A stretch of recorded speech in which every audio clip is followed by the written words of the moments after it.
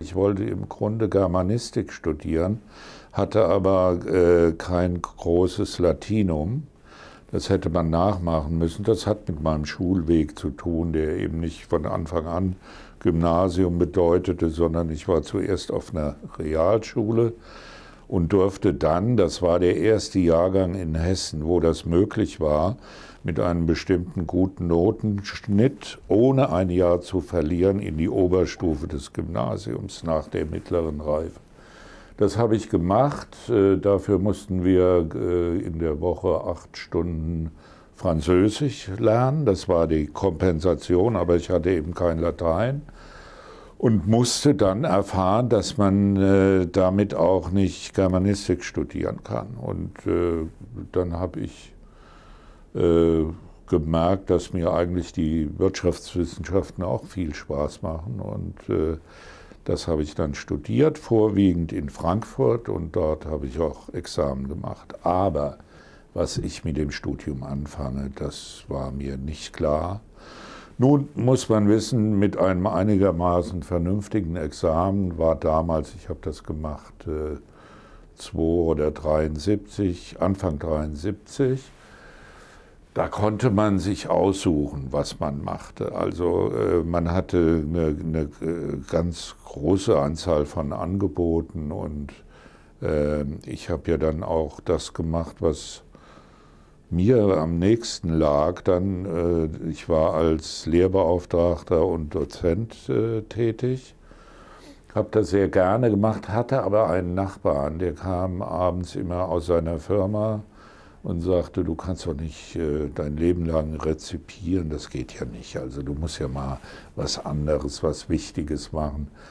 Das hat der drei Jahre lang gebohrt und dann ging ich wirklich zu ihm in die Firma und war äh, sozusagen von heute auf morgen ohne jede Vorerfahrung Personalchef in einem Unternehmen, das damals 1100 Mitarbeiter hatte.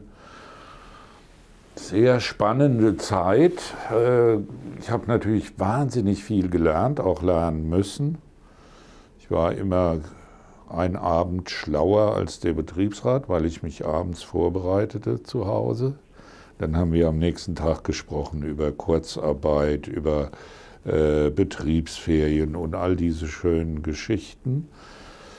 Und Personalarbeit hat mir Spaß gemacht. Also ich habe das sehr gerne äh, gemacht, hatte sehr gerne mit den Leuten zu tun. Dies war ein Betrieb der Metallindustrie, also hoch organisiert, 90 Prozent der Belegschaft IG Metall. Und da hat man schon da hatte man Gesprächspartner, die musste man ernst nehmen. Also es hat mir sehr viel Spaß gemacht und ja, da hätte ich wahrscheinlich ein, einige Jahre, ich war da nur zwei, zweieinhalb Jahre dort. Ähm, tja, und dann lernte ich einen Verlagsleiter kennen bei diesem Freund, der mich in die Firma geholt hatte und drei Wochen nachdem er mich geholt hatte, rausflog weil er Krach mit seinem Aufsichtsrat bekam. War ich also ganz alleine, was auch wieder gut war, konnte keiner sagen, ist der Freund von dem Vorstandsvorsitzenden oder so. Naja, aber bei diesem äh, Freund, der wir sind auch heute noch befreundet, äh, der dadurch einen großen Einfluss auf meinen Lebensweg hatte, äh, habe ich den Verlagsleiter des Spiegel, Michael Nesselhauf, kennengelernt. Äh, mein Freund äh, kam ursprünglich aus Hamburg und er hatte zu einem Fest eingeladen, da ging es um die Taufe seiner Kinder. Ja, er hatte eine Frau geheiratet, die kam aus Venezuela und brachte einen Sohn mit, der war schon sechs oder sieben. Und die beiden eigenen Kinder wurden getauft. Der war natürlich schon getauft, sollte aber einen Paten haben und das war ich. Deshalb habe hab ich eine kleine Rede gehalten auf mein Patenkind. Und äh, der äh, Michael Nesselhauf, so hieß der Verlagsleiter, der hatte meine Frau zu Tisch. Und er fragte dann gleich, was, äh, also mir ist das und was macht der? Und äh, da hat sie gesagt, hat sie erzählt, dass ich Personal mache. Und da kam der Nesselhoff am selben Abend und sagte, du musst unbedingt zu uns nach Hamburg kommen. Wir suchen seit zwei, drei Jahren, der Spiegelverlag, jemanden, der sich um Personal kümmert und ich denke, du, du könntest das. Habe ich gesagt. Das freut mich ja sehr.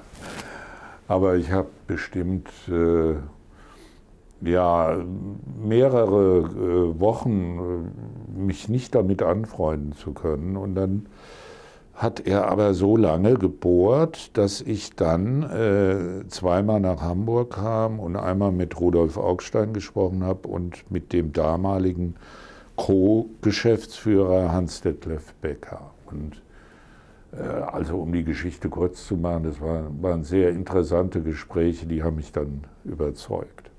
Und dann äh, bin ich nach Hamburg in der festen Absicht, ich mache das, wenn es gut geht, mache ich vier, fünf Jahre, dann macht man wieder was Neues. Wie gesagt, der Arbeitsmarkt war damals anders als heute. Das war 1980, ne, als Sie angefangen Das war 80, ja.